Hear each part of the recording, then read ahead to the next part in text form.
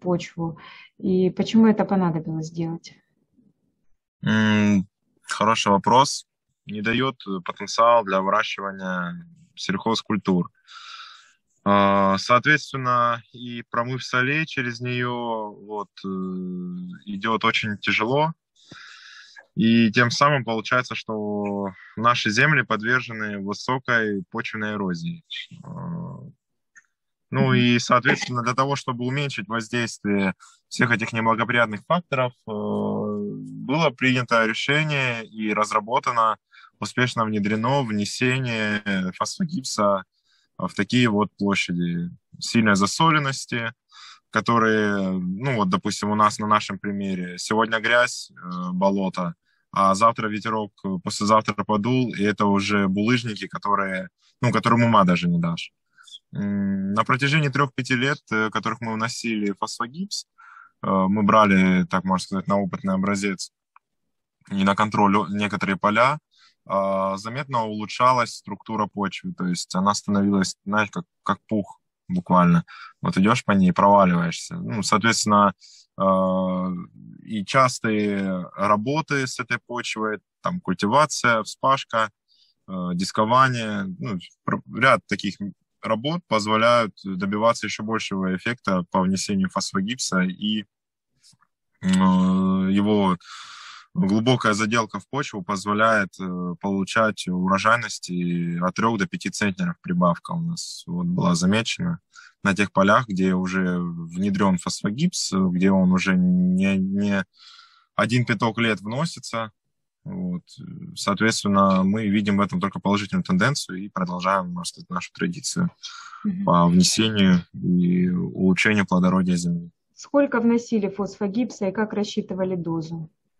А, соответственно, ну, такие решения принимать в хозяйстве очень сложно, поэтому мы обратились к людям специализированным, обученным а, специалистам своего дела. Это а, Цемлянский институт э, Черноземья, если я не ошибаюсь. Вот. Э, в общем, их э, университет по изучению почв находится в Цемлянске один, и один, по-моему, в Азове, что ли. Ну, могу, могу ошибаться, да. В общем, а, они занимаются а, изучением структуры почв, изучением а, состава сложных минеральных удобрений, их содержания в почве. То есть, ну, берут почвенный анализ и тебе по нему четкую картинку составляют. Mm-hmm. Вот. Э, в ходе работы с ними было принято решение, что для получения удовлетворительного результата для наших условий э, необходимо внесение а, фосфогипса в объеме 10 до 15 тонн на гектар. Вот. Э, э, бывало где-то и до 20 бывали нормы, бывало где-то и до 5. Ну, в среднем это где-то 10-15 тонн на гектар. А, ценообразование на сегодняшний момент одной тонны фосфогипса 1570 рублей. Это цена с НДС. А, когда мы начинали, когда я начинал работать на предприятии, эта цифра была где-то около 1000-1100 рублей. То есть вот буквально за 3-4 года цена выросла на 400 рублей. А, соответственно, и выросли затраты по внесению фосфогипса, по его заделке в почву. Это зарплата механизаторов, это запчасти, это топливо, ГСМ – а, ну, на сегодняшний момент где-то порядка 20-22 тысяч на гектар, 22 тысяч рублей на гектар у нас составляет полностью вот, вот эта программа по внесению фосфогипса. Вы вносите а, его... Вносим, вносим мы его где-то в пределах 300-400 гектар в год.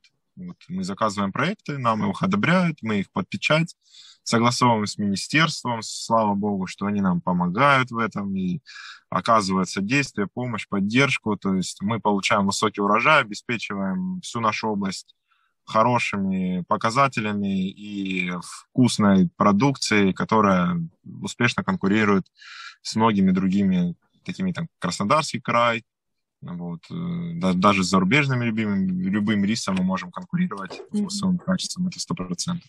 Скажите, так вы э, как часто вносите фосфогипс на одно и то же поле? Ну, мы обычно стараемся вносить, э, ну, допустим, создаем, заказываем проект, И э, вот, ну, допустим, на эти же поля, вот 300-400 гектар, которые мы внесли, ну, стараемся возвращаться хотя бы через 4-5 лет. Вот, в принципе, мы заметили и как бы так, ну, на собственном опыте пришли к тому, что всех этих мероприятий хватает примерно ну, от 5 до 6 лет. Мы вносим его не только в рисовые чеки, мы еще и на Багару тоже вносим, также на, ну, там, где выращиваем пшеницу и остальные культуры. Там тоже мы отмечаем довольно-таки очень высокие показатели. И на орошаемых землях тоже, там, где мы выращиваем картофель, у нас э, искусственного орошения именно ну, дождевальные машины – составляет около тысячи гектар. И вот на них мы также активно внедряем опыт по внесению фосфогипса и видим значимые результаты. То есть внедряете как с поливом носите его? Или... Нет, нет, он сам по себе сыпучий фосфогипс. Он как на известь немножко похож, вот, но не такой вредный именно вот, ну, для почвы. И э, фосфогипс вообще это, образно говоря, отходы от производства удобрений. Uh-huh. Вот. Удобрение произвелось, э, все, что от него осталось, называется фосфогипсом. Это uh-huh. ну, похож как на, на мел немножко. Да, понятно. Вы вносите под помню... какую-то определенную культуру или э, как, как придется? А, ну, на, если мы говорим о, об орошении в чеках, чековая система – это пшеница, рис. Если мы говорим об орошении э, на дождевальных э, машинах э, поливных, это э, картошка, э, картофель кукуруза, озимая пшеница, ячмень. Ну и, в принципе, на багаре это ячмень, озимая пшеница, подсолнечник, кукуруза. На Наверное, этих культурах... я не очень, не очень правильно задала вопрос. Вот вы сказали, что на одно и то же поле где-то раз в 4-5 лет возвращается фосфор. Ну, у нас же Вы подгадываете система... или а. как получится? А, нет, у нас же фиксация идет, на каких полях мы работали, мы же ведем учет, а, там, где мы вносили фосфогипс, и на эти поля мы не заходим. У нас порядка четырех с половиной тысяч гектар на орошении находится, и где-то тысяча гектар на э, дождевальных машинах, под, под дождевальными машинами. Ну вот пять тысяч гектар примерно, если, ну, образно говоря, взять 500 гектар а, в год, э, раз э, в 5, в 6, в 7 лет мы обратно возвращаемся на те площади, с которых начинали, и повторно на них разбрасываем. Если мы видим где-то воздействие а, солей или а, тяжелая почва, которая ну, не дают потенциал для получения хорошего урожая, мы там снова вносим фосфогипс, э, опять же, после проекта, после согласования с Цемлянским э, институтом, и уже получаем желаемый результат. Ну, я, я почему уточнила, например, навоз, да, его стараются внести под кукурузу, потому что она отзывчивая и потому что это не грозит там нитратами какими-то. Вот. Э, как, как, как у вас в этом плане? Фосфогипс, допустим, перед всевом пшеницы вы вносите или... Нет, э, э, логика следующая. Мы отталкиваемся не от севооборота, мы отталкиваемся от ну, очередности. Ну, стараемся подгадывать так, чтобы чеки шли друг за другом. То есть, ну, севообороты вот на карте, они разрисованы. И, допустим, вот здесь севооборот, там севооборот, тут, тут, тут. И мы потихонечку по кругу вот э, идем и вносим. Mm-hmm. Не подгадываем севооборотом ни в коем случае. Ну, так получается, что если мы разбросали, например, фосфогипс осенью или весной, а, ну, если это весна, значит, скорее всего, под севооборот этот попадет а, выращивание риса. Если это осень, значит, это уже, скорее всего, после уборки озимой, это по, как раз под заделку, либо это поле просто отдыхает и попало, в свою очередь. Ну, нету задачи внести именно адресно под какую-то культуру, нет. Uh-huh. Это работает на протяжении нескольких лет, и бывает даже на первый год ты не видишь эффект, но увидишь на следующий. Ну, как с навозом. Вот он первый год, если в чеке его внести, вот на собственном опыте убедились, первый год внесли, мы э, получаем очень сильный стресс и очень сильные ожоги на культуре.